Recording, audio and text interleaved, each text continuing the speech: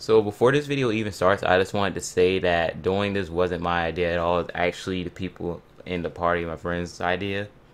They all said, well, hey, why don't you just record it and put it on your YouTube channel since we're just going to destroy it? Because at first I wasn't into the idea. And then I thought about it because we would be the first to do it. So I looked it up and turns out if I upload this, we'll be the legitimate first people in the world probably to film or have proof of doing so when it comes to destroying the tower. So hope you guys enjoyed this video a little quick thing I decided to put together and um yeah.